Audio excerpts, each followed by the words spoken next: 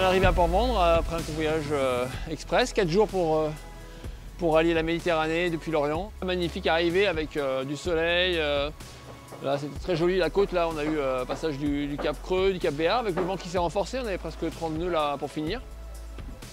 On voit qu'on est vraiment en Méditerranée. ça change de la Bretagne. C'est des, des, conditions agréables aussi au niveau température.